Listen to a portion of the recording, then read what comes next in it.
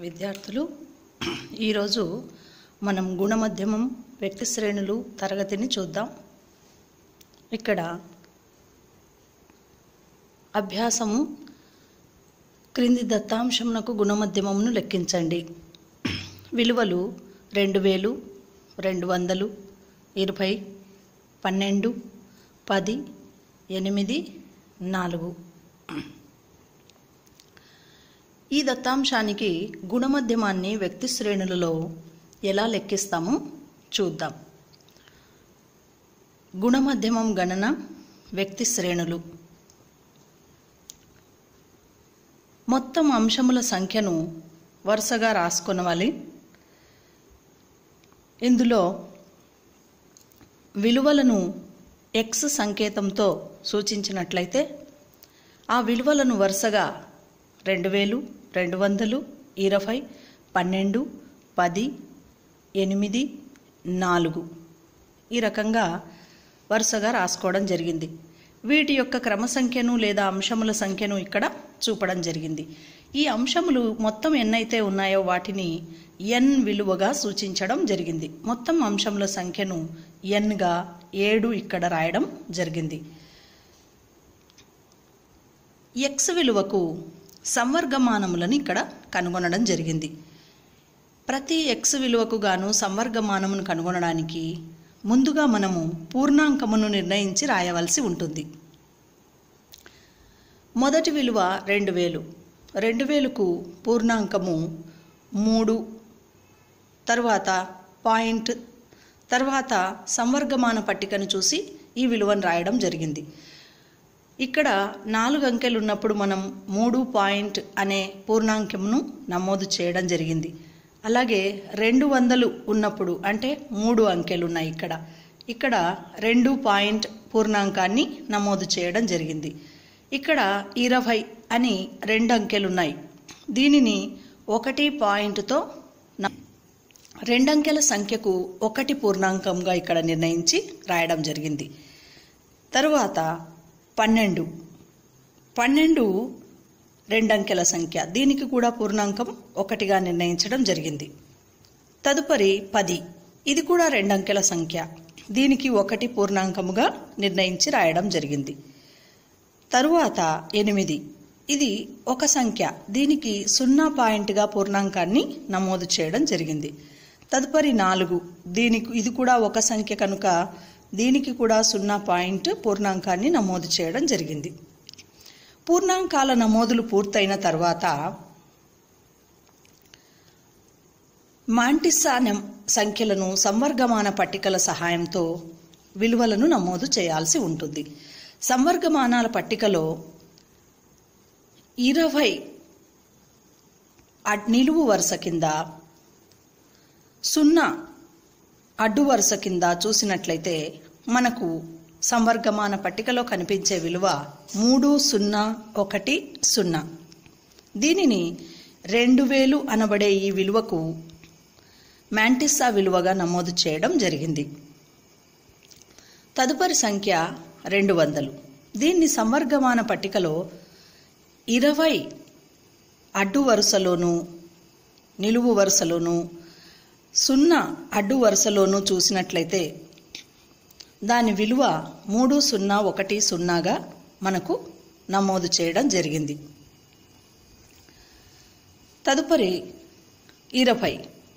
దీన్ని కూడా అదే ఇరవైని సంవర్గమాన పట్టికలో చూసినట్టయితే నిలువు వరుసలో ఇరవైని అడ్డు వరుసలో ఇక్కడ ఏ ఏ అంకె లేదు కనుక సున్నాని తీసుకున్నట్లయితే ఇరవైని సున్నా కింద చూసినట్లయితే మూడు సున్నా ఒకటి విలువను మనం గమనించవచ్చు. దానిని ఇక్కడ నమోదు చేయడం జరిగింది.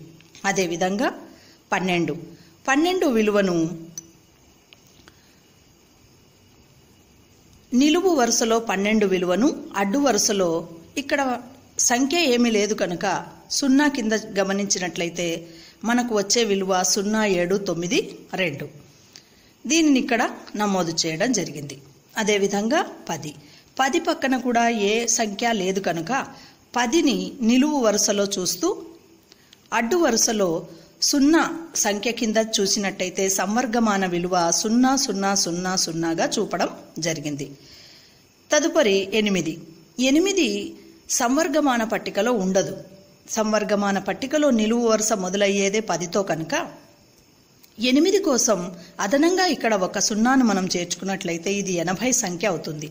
ఎనభైను నిలువు వరుసలో చూస్తూ అడ్డు వరుసలో పక్కన మరేదో సంఖ్య లేదు కాబట్టి సున్నాను తీసుకొని నిలువు వరుసలో ఎనభై అడ్డు వరుసలో సున్నాను సున్నా కింద గమనించినట్లయితే మనకు వచ్చే విలువ తొమ్మిది సున్నా మూడు ఒకటి అవుతుంది. దీన్ని ఇక్కడ నమోదు చేయడం జరిగింది. ఇక్కడ కూడా నాలుగు ఉంది. నాలుగు కూడా సంవర్గమాన పట్టికలో నిలువు వరుసలో మనకు కనిపించదు. అందుకోసం దీని పక్కన ఒక సున్నాను చేర్చుకొని నలభైను నిలువు వరుసలో గమనిస్తూ అడ్డు వరుసలో సున్నా కింద చూచినట్లయితే మనకు ఆరు సున్నా రెండు ఒకటి విలువ కనపడుతుంది. ఈ విధంగా సంవర్గమాన పట్టికలను చూసి ప్రతి విలువకు విలువలన్నింటినీ నమోదు చేసుకోవడం జరిగింది. ఈ విలువను సంకలనం చేయడం జరిగింది. ఈ మొదటి వరుసను సంకలనం చేస్తే నాలుగు రెండవ వరుస మూడవ వరుస నాలుగవ వరుస ఇలా అన్ని వరుసలను సంకలనం చేసుకుంటూ వచ్చినట్టయితే వచ్చిన మొత్తం విలువ ఎక్స్ విలువ విలువలకు సంవర్గమానముల యొక్క మొత్తము అనిపించుకుంటుంది. దీనిని మనం సిగ్మా లాగ్ ఎక్స్గా గుర్తించవచ్చు. సిగ్మా లాగ్ ఎక్స్ విలువ పది పాయింట్ నాలుగు ఎనిమిది ఏడు నాలుగుగా ఇక్కడ మనం చూడడం జరిగింది. ఇప్పుడు గుణమధ్యమమును లెక్కించడానికి ఈ సూత్రమును ఉపయోగించడం జరిగింది.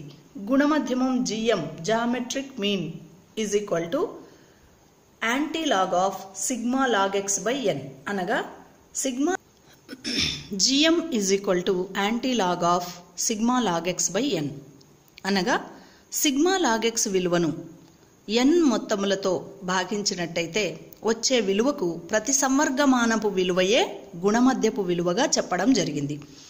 యాంటీలాగ్ అనగా ప్రతి సంవర్గమానము. ఇక్కడ మనకు సిగ్మా లాగక్స్ యొక్క విలువ పది పాయింట్ నాలుగు ఎనిమిది పది పాయింట్ నాలుగు ఎనిమిది ఏడు నాలుగు విలువను ఏడు సంఖ్య చేత భాగించగా ఏడు అనగా ఎన్ విలువ అనగా మొత్తము అంశముల సంఖ్య. మొత్తం అంశముల సంఖ్య చేత భాగించగా వచ్చిన విలువ ఒకటి పాయింట్ నాలుగు తొమ్మిది ఎనిమిది రెండుగా చూడవచ్చు.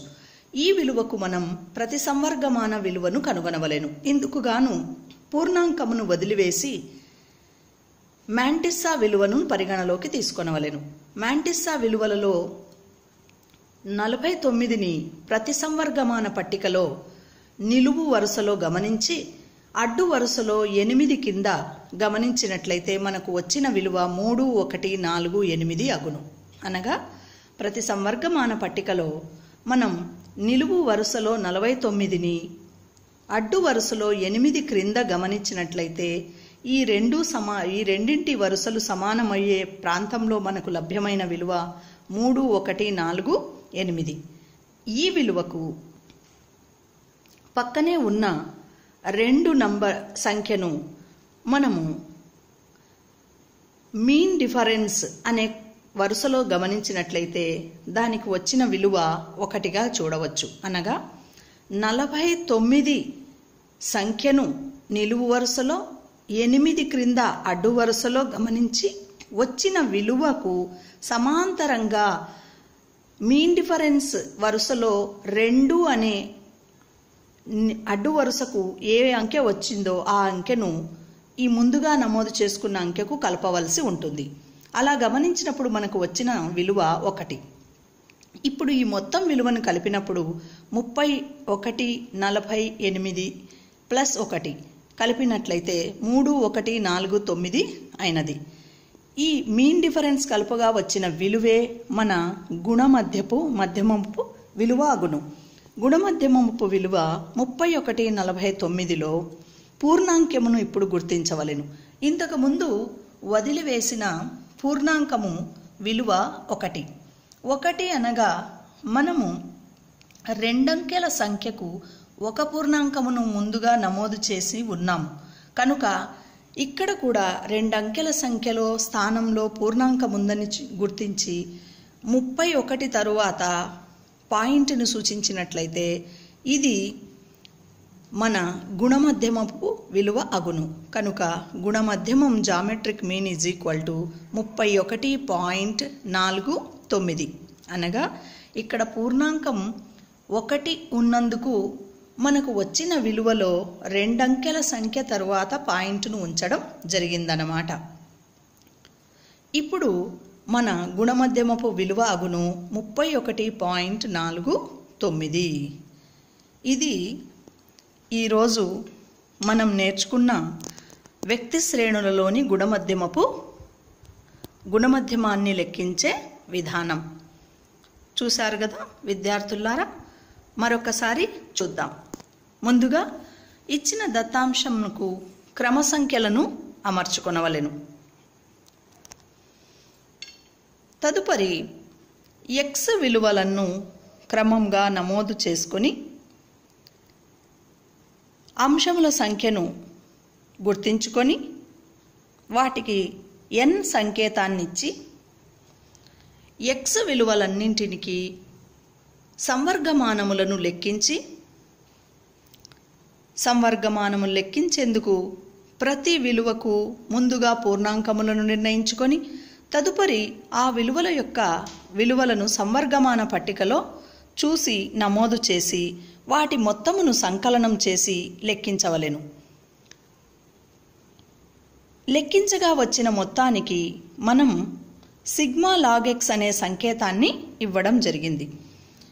గుణమధ్యమం సూత్రం GM is equal to antilog of sigma log x by n అనే సూత్రాన్ని నమోదు చేసి GM is equal to antilog of పది పాయింట్ నాలుగు ఎనిమిది ఏడు నాలుగు డివైడెడ్ బై ఏడు. వేసి భాగించగా వచ్చిన విలువ ఒకటి పాయింట్ నాలుగు తొమ్మిది ఎనిమిది రెండు అయినది. దీనికి ప్రతి సంవర్గమానమును కనుగొనడానికి పూర్ణాంకమును ముందుగా పక్కకు ఉంచి మ్యాంటిస్సా విలువలను నలభై తొమ్మిది ఎనిమిది క్రింద ప్రతి సంవర్గమాన పట్టికలో చూచి వచ్చిన విలువను నమోదు చేసి అదే విలువకు ఎదురుగా రెండు అనే సంఖ్య కింద మీన్ డిఫరెన్స్ విలువను దానికి నమోదు చేసి కలుపగా వచ్చిన విలువ ముప్పై ఒకటి నలభై తొమ్మిది అయినది.